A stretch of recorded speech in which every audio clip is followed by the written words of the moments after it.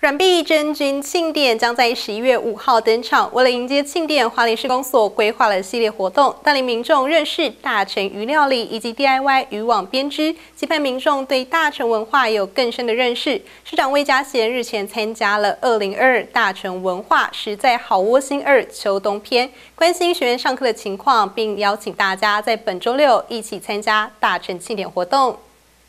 花莲市公所举办二零二二大成文化节实在好窝里秋冬篇，结合海洋渔业相关课程。这堂课是由大成长辈张宏浩和梁开富和学员来分享大成人的传统渔业技艺。市长魏家贤表示，大成文化节以软币珍居气点为主轴，每年有不同主题。今年是鱼料理教学，还有渔网编织活动，要让民众对大成文化有更进一步的认识。今天也为了大成文化季来做相关的呃。之前的一个活动，那我们预计在十一月五号晚上，在大城这里来办理相关的软冰真菌祭，也是大城俗称的过年。那我们希望透过不同小的活动，那累积起来所有大城过去发生的食衣住行，那也希望利用这样的田野调查的方式，让更多的呃我们祈祷能够把过去所知道的大城市都能够累积起来，大城的音乐，大城的饮食。大城的生活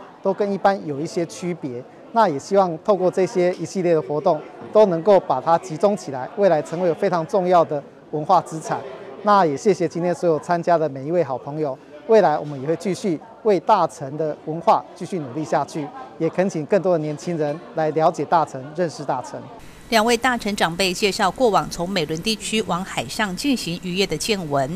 紧接着，由大成团队带领大家透过渔网编织，体验大成先民和海共生的文化经验。花莲市公所表示，今年的软币真菌庆典晚会十一月五号晚上六点钟登场，内容包括音乐响宴、庙会团体等表演，现场还有大成美食品尝。市长魏家贤邀请乡亲来感受软币真菌庆典热闹的氛围。